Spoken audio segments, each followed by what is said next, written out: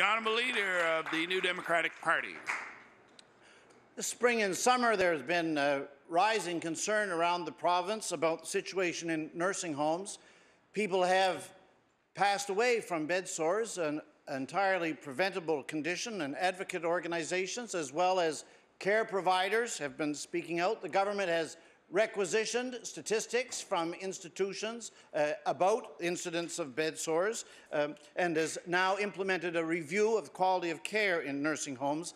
So I, I'd like to ask the Premier, in light of all of this, if he thinks now it would have been better had the government not taken that $5 million out of the funds of nursing homes over the last four years.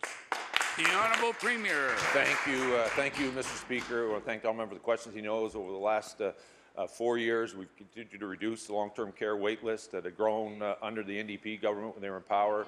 He knows, uh, Mr. Speaker, that we've heard from Order, please. The Honourable Premier has the floor. We've heard from uh, Mr. Speaker, Nova Scotians concerned about the care some of their loved ones have been receiving. well, we now have a group of experts in the field to come together to go out and reach uh, and collaborate with our, uh, the members our, who are providing this service to our communities. Uh, Mr. Speaker, and we look forward for that report coming back. The Honourable Leader of the New Democratic Party.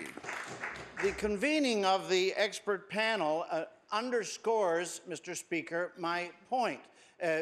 For some time, the government has contended uh, there is no need for alarm. Everything in our nursing homes is as it should be, despite the uh, escalating crescendo of concern there has been around the promise. One does not appoint a panel for something that they don't think there's been a problem about. And so clearly, we see now that the government has recognized, has had a change of heart, and is seeing the matter differently, that there is a problem, that people have been right about this. In light of this evident change of heart, then, I would like the Premier to to address the question, wouldn't it have been better in the first place if the government hadn't taken $5 million out of the funds of nursing homes over the last four years? The Honourable Premier. Uh, Mr. Speaker, I look forward uh, to a report coming back. Uh, Mr. Speaker, I look forward to them going out uh, talking to the experts in the field, Mr. Speaker, if there's required funding to go into the program, uh, it will become part of our budget process. Why we asked them to repeat to have the report back by the end of November becomes part of the the ongoing budgeting process that we do with inside of the province. Mr. Speaker, and I want to ensure the honourable member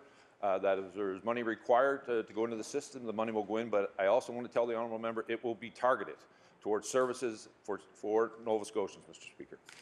The honourable leader of the New Democratic Party on his final supplementary. I have not spoken with a single nursing home administrator in the province uh, who doesn't feel that their mission has been compromised over the last number of years by the reductions in nursing home funding in the province. I've also not spoken to a single employee of a long-term care facility anywhere who's not felt the same. I therefore think it is very unlikely that the, the uh, expert panel on long-term care is going to come to any different conclusion. And so I want to ask the Premier, if the panel comes back with a recommendation that the 5 million that has been taken away over the last four years from nursing home funds should be reinstated, will that recommendation be honoured and that money put back? The Honourable Premier.